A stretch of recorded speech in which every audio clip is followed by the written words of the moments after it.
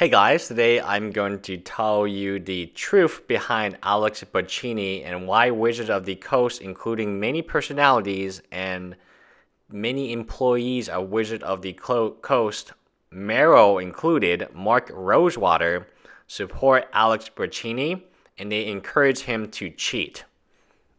Now, Alex Bocchini, his long storied history, he's been banned two times, he's been caught on camera multiple times and he has returned to cheat yet again. So you figured that after a second ban, he would not return, or would at least not try to cheat as obviously as he did, but he did. What what type of mentality do you have to be caught cheating on camera multiple times and then return after your second ban? Not one ban, this is his return after his second ban let's get into why Wizard of Coast would ever want this guy back in Magic. It's very simple. Since the beginning of Wizard of Coast, I played Magic since beta. Since the very beginning, we had villains in Magic. And one of the biggest villains was Mike Long. Mike Long was the number one pick for the Hall of Fame of Mark Rosewater.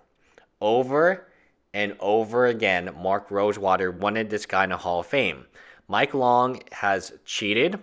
He is one of the, if not the best cheater in Magic Gathering history. Luckily for him, we didn't really have cameras or footage or any of that type of stuff.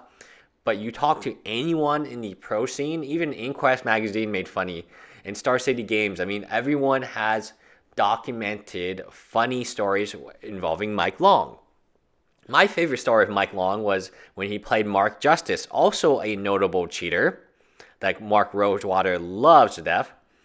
And Mark Justice slams the table really hard of a card, and this drops both dices. Mark Justice goes from 10 life to 15 life. And Mike Long, while Mark Justice is resetting, trying to cheat and reset his die, takes his die and goes from like 9 life to 20 life. And Mark Justice is not amused. He calls a judge but of course, he called the judge on himself, and then he had to leave with his tail behind his butt.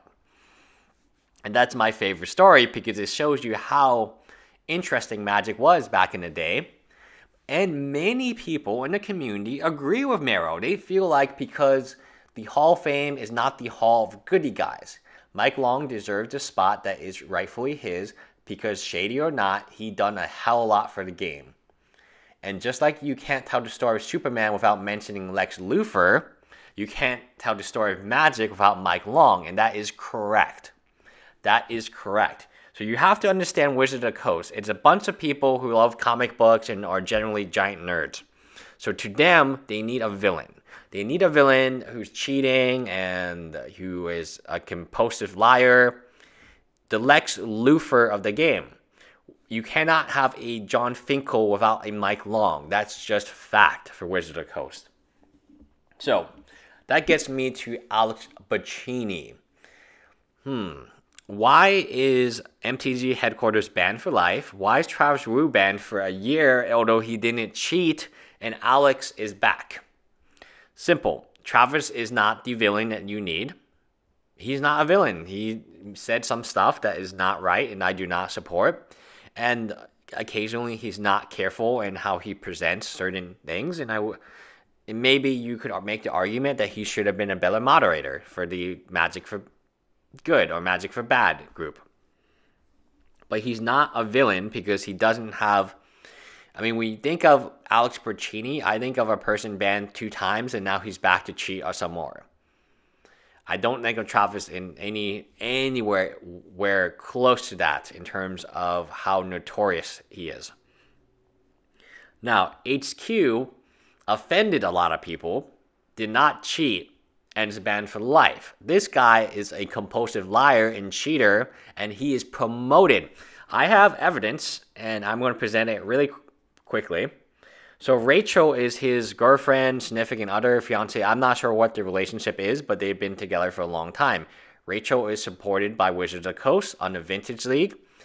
Rachel is in that picture with Rudy, and somebody told Rudy that it was a good idea to have dinner with Rachel and Alex. And Alex is in one of Rudy's videos talking about Wizard of the Coast, not in a positive way. Yeah, Wizard Coast needs Alex. They need him. They want him to come to GP Vegas. They want him to be in every single GP because people will say he is a villain and he is a very good villain because he doesn't give up. For you to be banned means you had to be cheat multiple times. For you to be caught meant you had to cheat multiple times. And the fact that he was caught two times tells me that it's just insane. Like, okay, you got banned one time for cheating, you come back and you get banned a second time, and you come back again. What is the mentality? What how? That is a villain's mentality. That is Mike Long. Mike Long was exactly like Alex Pacini, and he was the villain that Wizard Coast so badly wanted and so badly needed for their storytelling. So let's be honest here. Let's just be point blank honest with ourselves. Magic the Gathering is about storytelling. You cannot have Jon Finkel without Mike Long. You cannot have the Magic pros we have today, like LSV and all these other people, without Alex Pacini. Alex Pacini, he is a essential part of the Magic the Gathering story. He has to be.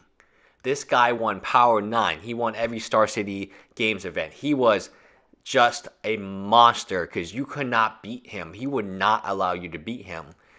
And he got banned twice. That's also part of this. Like just like how Barry Bonds and Mark McGwire, they're part of the story. Well, so is Alex Pacini and so is Mike Long. Does that suck for Magic players who believe that playing fair and not cheating or is a way to go? Yeah, that does suck for Magic players who believe that. But at the end of the day, Wizard of the Coast doesn't care about you guys. They do not care about its Magic player base. They care about the story. And the story is Alex Pacini is the villain, and he will be slayed again by the hero, which is Mark Rosewater. Mark Rosewater and the DCI will take immense credit and people will give them Reddit gold and clap their hands when we ban Alex for the third time, only for them to come back and us to have this exact discussion a few years down the road.